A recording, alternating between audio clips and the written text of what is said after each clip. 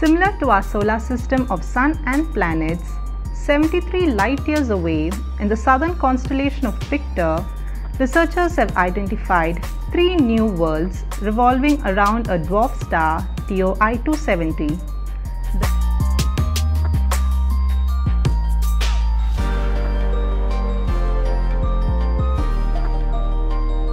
The innermost planet TOI 270b is likely a rocky world about 25% larger than Earth and orbits the star every 3.4 days.